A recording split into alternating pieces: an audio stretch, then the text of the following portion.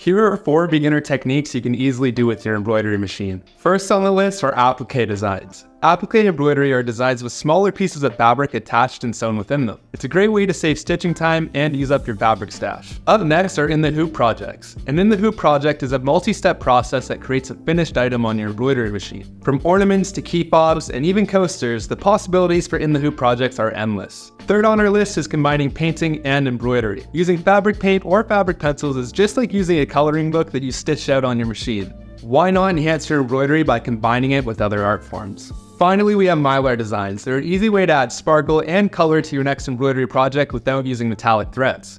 They're digitized with a thinner density specifically for the thin film of Mylar to be added underneath the fill areas. They're done just like an applique, however, instead of laying down fabric, you lay down a piece of mylar. Be sure to give these four techniques a try, they're easier than you think, and we'll see you in the next video.